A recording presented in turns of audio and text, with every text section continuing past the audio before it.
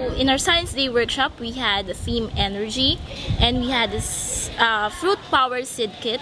wherein we are trying to verify if some fruits really have energy. And uh, we had uh, potato and lemon and then we found out that lemon could could generate more energy and electricity from it and uh, I think our students really enjoyed and learned a lot from this seed kit.